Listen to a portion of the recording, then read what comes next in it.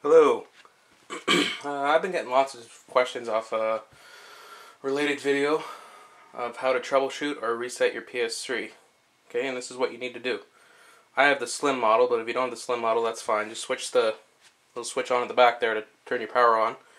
And what you need to do is make sure you have your controller plugged in. If you have it already plugged in, this will save you a step. All you're going to do is hold this power button.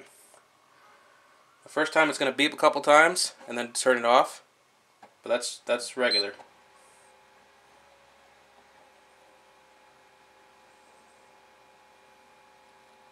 It'll take a few seconds.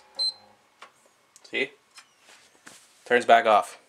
The system doesn't know you're trying to troubleshoot it or reset it. So what you do is you do it a second time. You just hold the power button down. You get one beep and then two beeps. There's one. There's two.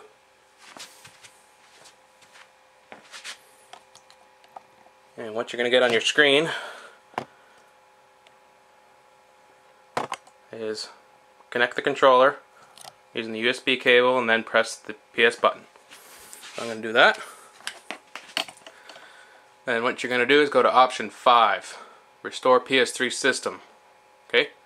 Now before you do that, use a USB stick to uh, save all your work because this will delete all your videos, your saved game data, pictures, whatever.